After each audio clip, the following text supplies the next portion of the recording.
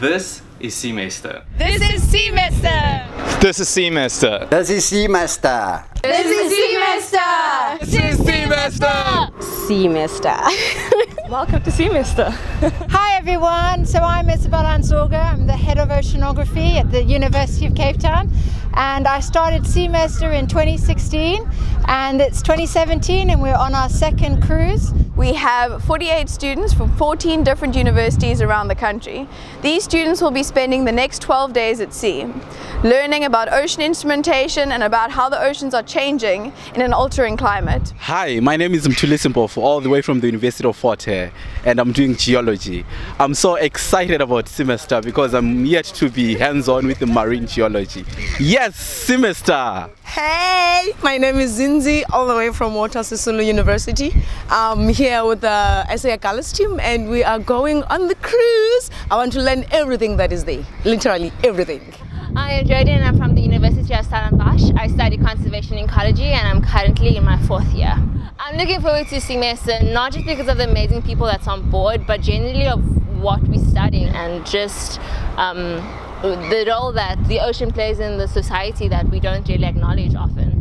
SEAmester was something that I thought about four years ago, and the main reason is that we have a lot of students who have access to the SA Agulhas 2 through various lecturers or professor uh, SANAP programs. There are many other universities where they're teaching earth sciences, but because they have no Antarctic program or they're not connected in any way to the SA Agulhas 2, they have no chance to actually get on board this vessel. And um, you know, the SA Agulhas is a national facility. It is world class. It's probably one of the best research vessels in the world. It is incredibly comfortable. It's a five star floating hotel that offers all the facilities for excellent research but really comfortable living as well.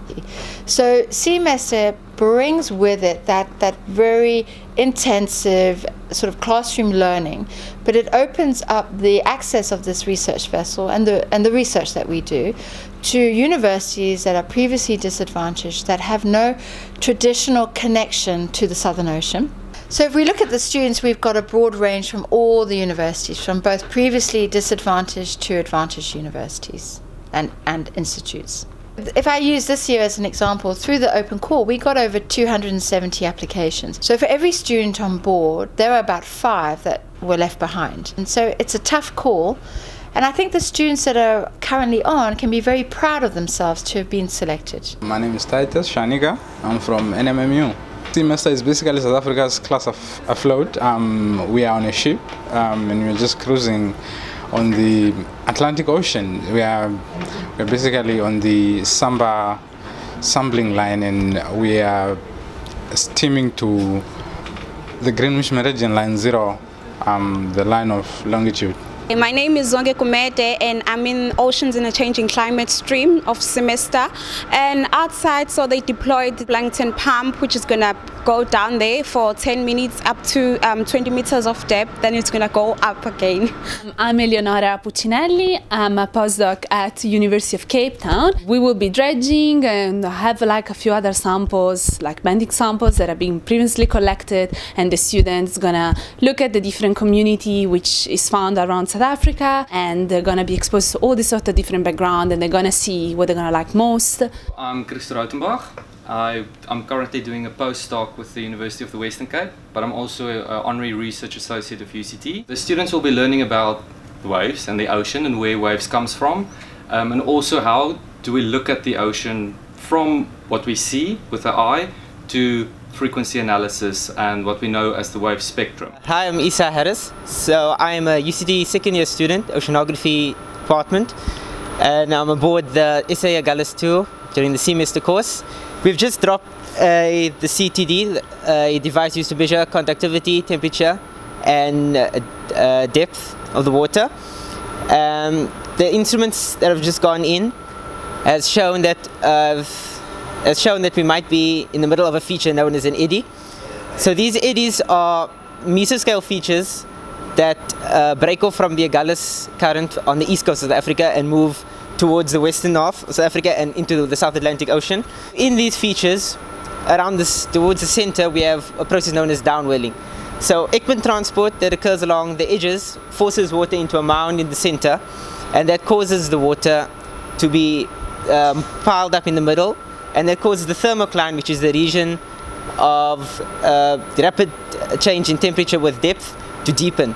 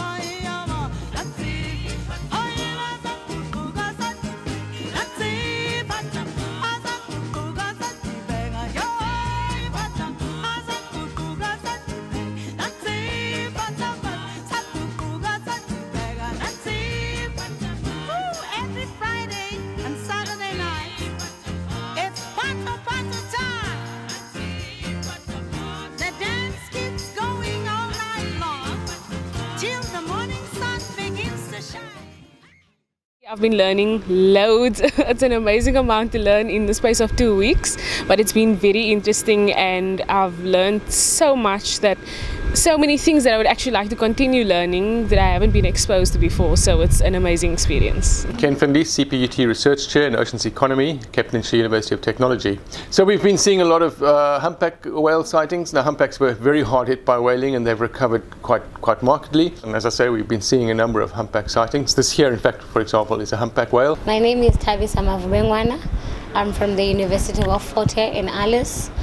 In SEAmester, I've learned a lot. I've learned that about the nitrogen fixation cycle, and also I've learned how to I, analyze chlorophyll, oxygen, that I've never done ever in my life. So SEAmester have brought new oceanography stuff that we never did in our undergrad, even high school.